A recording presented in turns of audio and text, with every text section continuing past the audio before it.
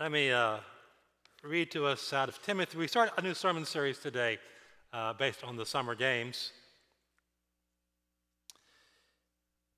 And Paul has given Timothy some pieces of advice, some qualifications, and then he says this If you point these things out to the brothers and sisters, you will be a good minister of Christ Jesus, nourished on the truths of the faith and of the good teaching you have followed have nothing to do with godless myths and old wives' tales. Rather, train yourselves to be godly. For physical training is of some value, but godliness has value for all things, holding promise for both the present life and the life to come. This is a trustworthy saying that deserves full acceptance. This is why we labor and strive, because we have put our hope in the living God who is the Savior of all people, and especially of those who believe. The Word of God for the people of God, thanks be to God. When it was first announced back in 2013, like civic boosters everywhere, the organizers were absolutely jubilant. They were looking forward to what they thought would be a PR bonanza and a lot of money. But then, as so very often seems to happen, things started going a bit sideways. The design for the main stadium had to be tossed after it was widely ridiculed for looking like an oversized bicycle helmet, uh, maybe a galactic spaceship, or even worse, one person said, like a turtle waiting for Japan to sink so that it can swim away. The logo for the games likewise had to be replaced when it was discovered that it was plagiarism, a ripoff of a theater in Belgium. The president of the local organizing committee had to step down after he publicly said women talk too much in board meetings. And then, of course, the pandemic postponed the whole event by a year, threatened to cancel it altogether. None of that was as bad, however, as the fact that the budget, originally projected to be $7.5 billion, quickly ballooned, like every Olympic game budget has since 1960. The cost of the Games is estimated now to be as high as $26 billion. And now, with just 12 days left to go into the opening on the 23rd, it's been announced that due to a resurgence in the COVID 19 vax, uh, uh, uh, uh, in, in, in Japan, that there will be absolutely no spectators in the stands. That will end up costing another 800 million from lost sales of tickets. Still, the athletes have kept preparing, an extra year even. It's common for Olympic athletes to spend eight years training in a sport before even making any, any kind of a national team. A study that came out before some games a few years ago said some athletes put in 10,000 hours of practice before the games. All of that so that you and I can watch the glories of synchronized swimming, race walking, and the pommel horse, which has been described as bright dancing for the suburbs. now, to be sure, those are better than some of the really odd summer games uh, which, the, which the games used to have, such as live pigeon, pigeon shooting, until they weren't anymore, I guess, swimming obstacle races, which contestants had to swim to a pole, climb, it, climb, climb up the pole, then back down, swim some more, clamber over two boats, and then under two more before swimming to reach the finish line. Solo synchronized swimming. Go figure that. And even distance plunging last held 1904, uh, athletes would, would dive into a pool, remain motionless on the bottom of it for 60 seconds or as long as they could, before bobbing to the top to see who could bob the farthest. Long jump with swimming kind of thing. But even without odd sports, even without spectators, what's safe to say is that nobody goes to the Olympics, or participates in any competitive sport for that matter, who hasn't first learned the importance of training. I suggest to you this morning it's the same when it comes to the Christian faith. The truth is, we have been called to exercise that as well, specifically to train ourselves to be godly. And so, as we begin this sermon series focusing on the summer games of life, training is the place where we ought to start as well. See, in, in writing to his, his young protege Timothy, St. Paul tells him here in chapter 4 to have nothing to do with godless myths and old wives' tales. Bebelos, gradios, mythos. Uh, bebelos refers to a threshold over which you uh, must step in order to enter a building. Uh, sometimes, though, in this case, uh, an, an, inappropriate threshold, one that, that you shouldn't be going over, something which is profane, in fact.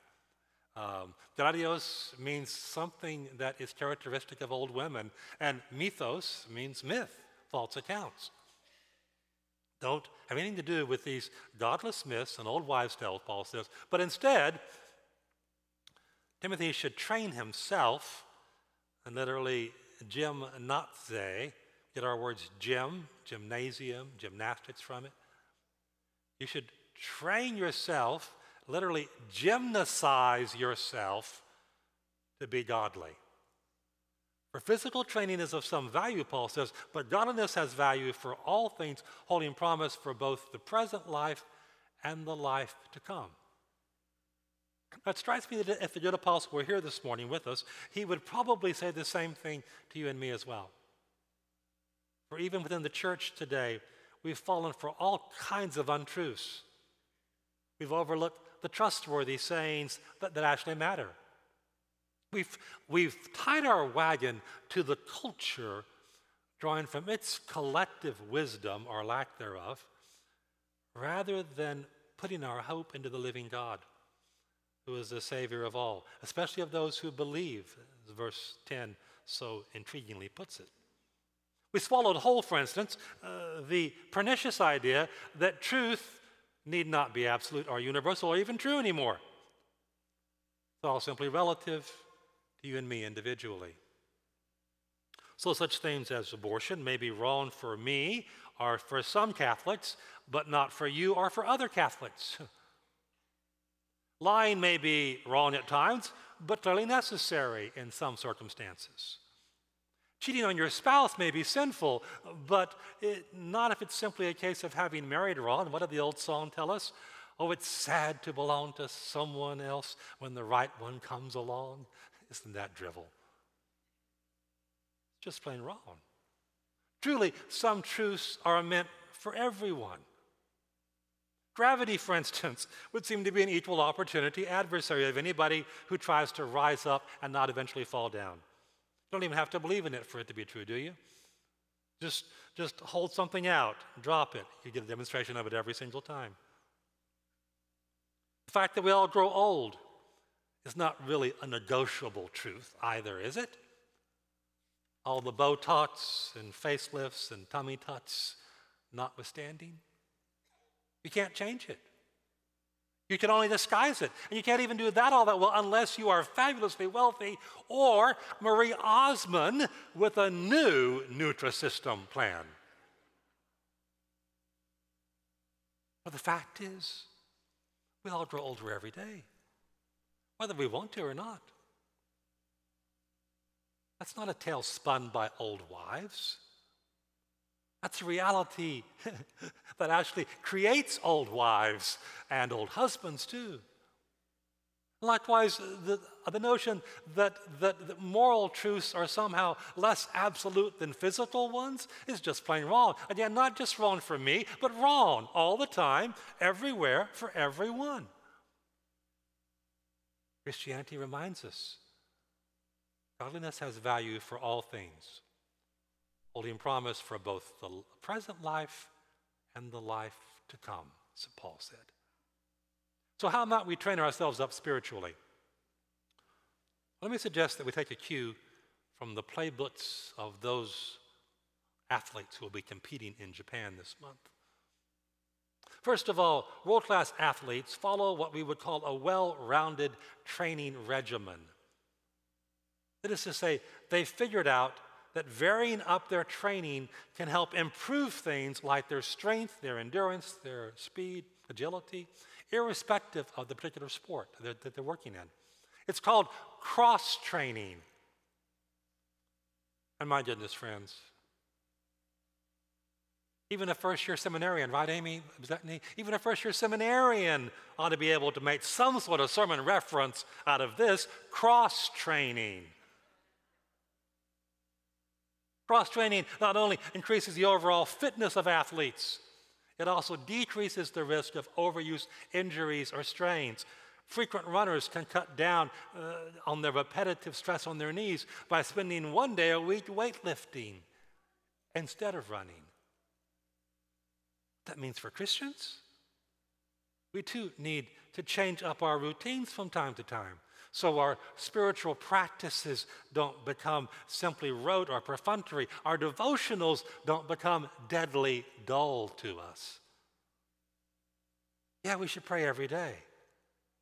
There are all different kinds of prayer, all different formats of prayer, all different expressions of prayer. We should read the scriptures, but we can, we can alternate between sections of the Bible, different genres within the Bible. And from time to time, we really ought to do a, a serious self assessment of our spiritual lives. Every time I go into my gym, someone asks me if I want a personal trainer. I'm beginning to take offense at this. Would you like someone who can help you assess what you're doing, sir? Apparently, I'm not doing it right. Secondly, however, Olympic athletes don't skimp on their sleep.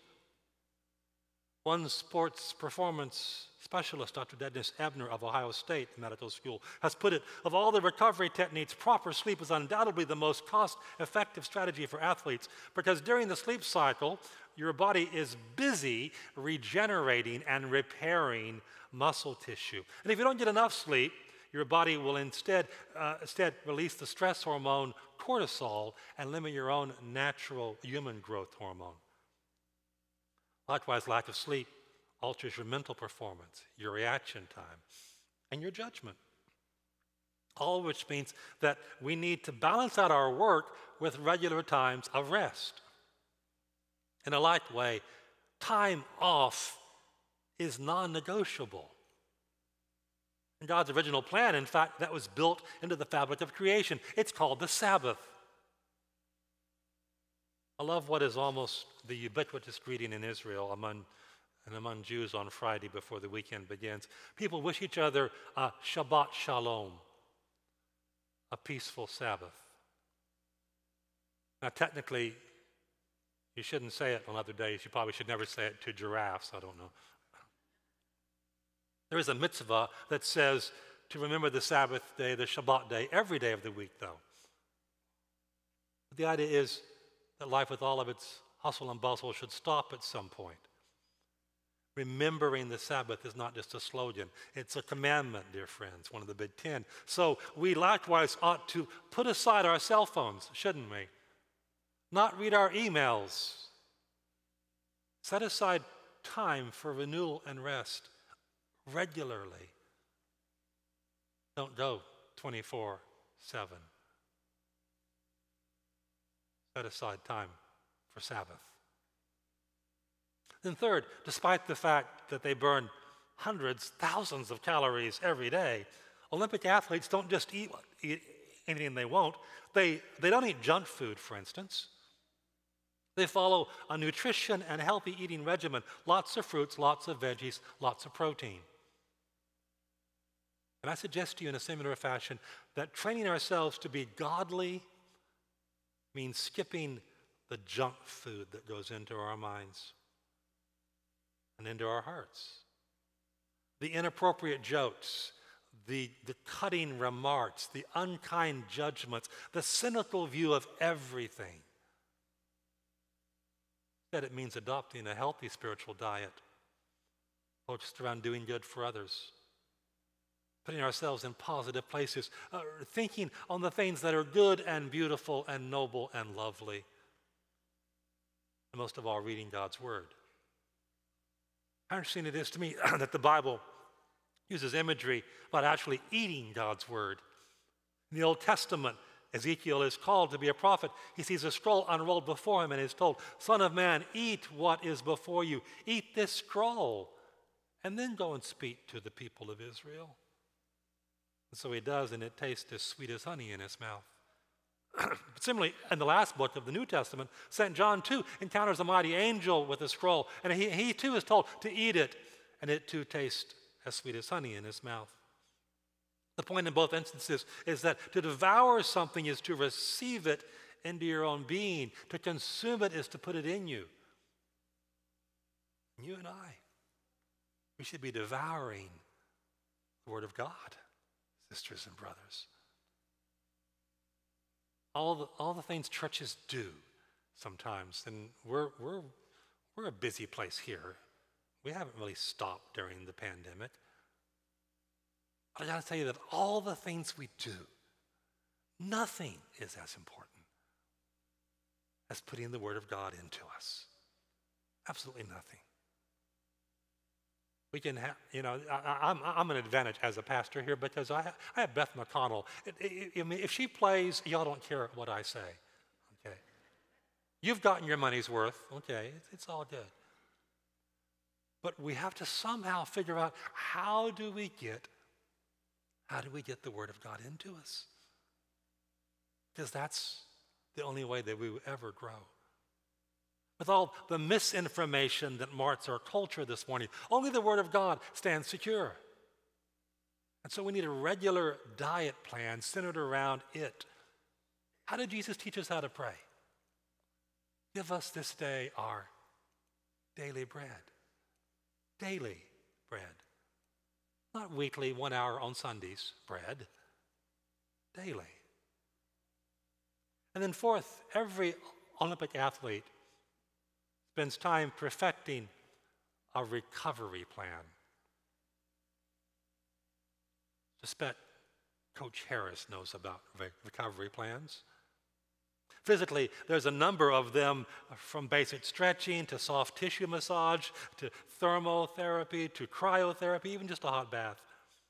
But at the root of them all is the understanding that sometimes, sometimes your training is going to go astray.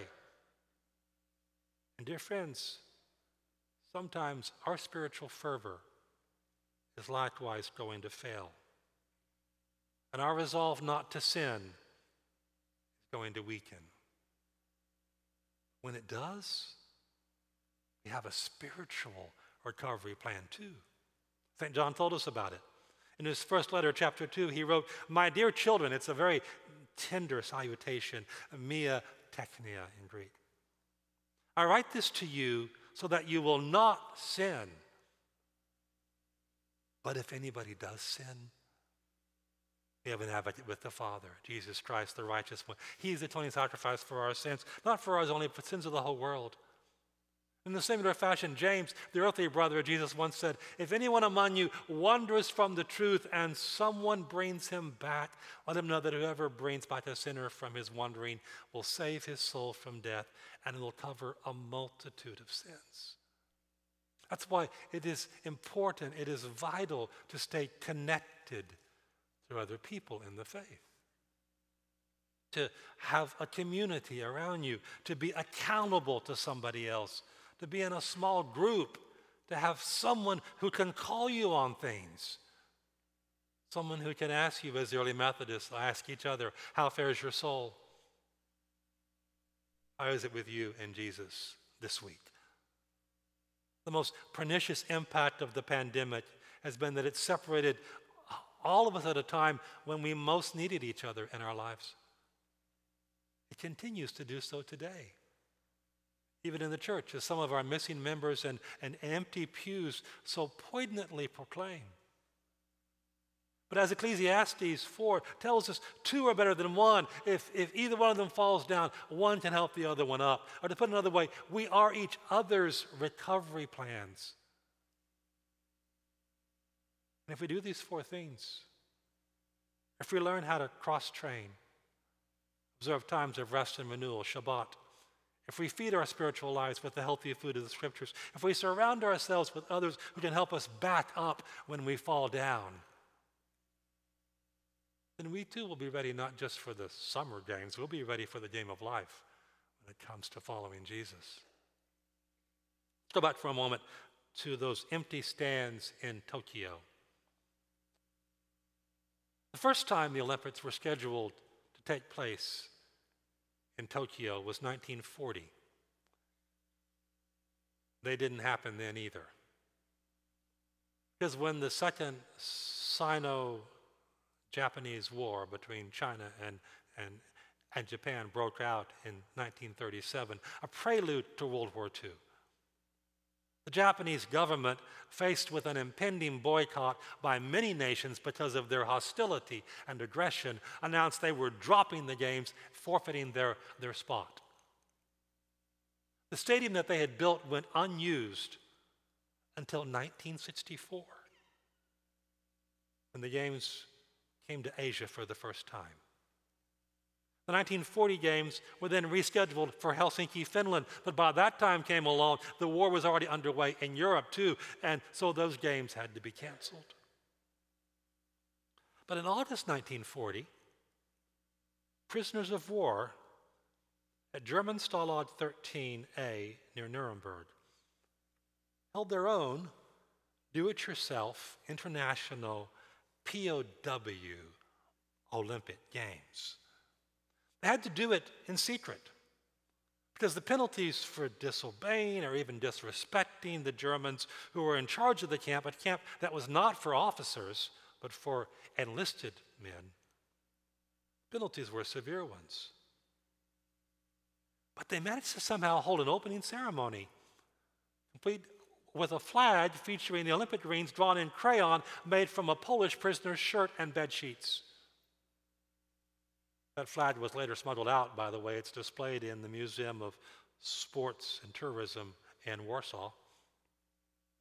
They also drew up banners for the countries represented in that prisoner of war camp Belgium, France, England, Poland, Norway, Russia, and the Netherlands. They drew them on their prisoner shirts. They swore an oath in the name of all the sportsmen whose stadiums are fenced with barbed wire. The POW is understood. You, you don't need spectators in order to do your best. You just need to do your best. Because in the end, we're, we're all called not to accept glory from each other, but to seek the glory that comes from the only God, John tells us. We might call him the audience of one everywhere in life, whether it's in a stadium that's empty or one that is full of fans. It is God's pleasure we should be pursuing above all else. That doesn't mean we're trying to earn his applause or his favor by being successful in our competition or by winning. Doesn't mean that we don't care about what others may think about us or that somehow we're are, uh, uh, uh, just, just free from their criticisms, criticisms, oblivious to them does mean that we keep those criticisms in their proper place. We allow God's kingdom values to define us, not the values of this world. We allow God to tell us who we are, not the world. Because ultimately, you see, there's only one, there's only one whose opinion about us really matters. We live for that audience of one. How's your training? Going this morning, friends. Not your gym routine, your spiritual training. Let me ask it a different way. Are you a more godly person today than you used to be? Are you closer to Christ this morning than you were five years ago, 10 years ago, 20 years ago, 50 years ago? Are you more devoted to God and His Word than you've ever been? If not, maybe you need to make a reassessment of your spiritual training routine. It's been said that just 30 minutes a day of moderate exercise can lower your blood pressure by 15 points with all kinds of other health benefits. I wonder what 30 minutes of praying, reading the Bible, spending time with God, and practicing godliness in your interactions with other people might do for your spiritual health as well. See, I don't believe godliness will ever become an Olympic event, but it certainly should be a Christian one. Paul said to young Timothy, train yourself in godliness. The grandstands may be full, the pews may be full, or they may be empty. But the audience of one, he's still watching. In the name of the Father, Son, and Holy Spirit. Amen.